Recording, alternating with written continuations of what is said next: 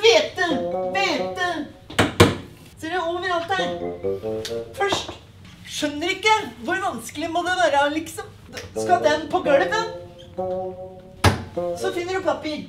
Ikke sant? Fritz har meldt seg opp i kjøkkencrew eh, på, på Splashkampen. Så da laga jeg en liten sånn der case til nå. Det er lurt for å vite åssen er det Åssen er det funker. Det, var det fint? Det var god opplevelse? Det er da kan vi gå. Hallo! Hva var dette? Hva er det?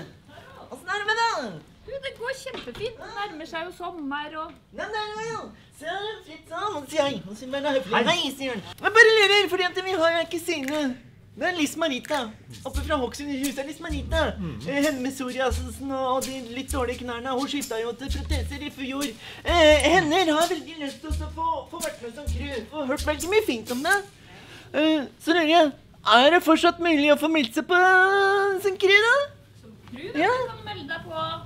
Det er ikke noe sånn påmeldingsfrist for det. Du kan melde seg på fortsatt. Helt fram, helt fram, altså. Ja. Ja, men uh, kusina vår har en sønn. Og han har veldig lyst til å være med som deltaker. Uh, lurer jeg på, Er det mulig å melde seg på? Når er fristen for det? Det er 1. juni. Oi, dæven, det er hvert øyeblikk, du. Bare å få smelt i gang kassa! Komme seg inn på nettet og melde seg på. Det er på nettet det skjer, er det ikke det? Da må ringe. Det er digitalt. Det er digitalt, ja.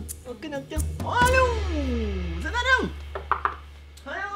Hei! Jeg Nå er det jo rett øyeblikk eh, 17. mai. Ja. Holder dere koken i gang? På 17. mai, nei. Ja. Nei, da må vi ta fri. Er det stengt?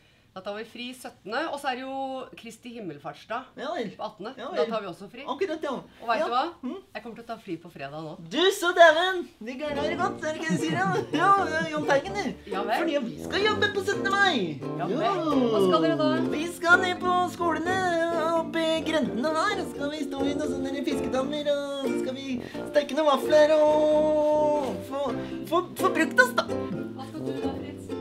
Han skal være med. Skal gjøre akkurat samme som meg. Akkurat samme. Ja, så fint. Vi koser oss med det. Og han være opptatt. Og holde koken i gang, da. Ja. Noen må jo det. Ellers så dør Norge. Uten frivilligheten så dør Norge. Det er sant. Det sier de. Det er helt sant. Da får du ha god 17. mai, da. Tusen takk, eh, Tala. Det syns jeg du skal ha. Så da må jeg bare ønske til lykke med dagen med 17. mai og sånt noe. Så det, Fritz, hva sier du da? Hipp, hipp, hurra! Oi, da var det lyd! Hipp, hipp, hurra! Går akkurat som i korpset. Ja. Å, Norge! Ja, to, Applaus!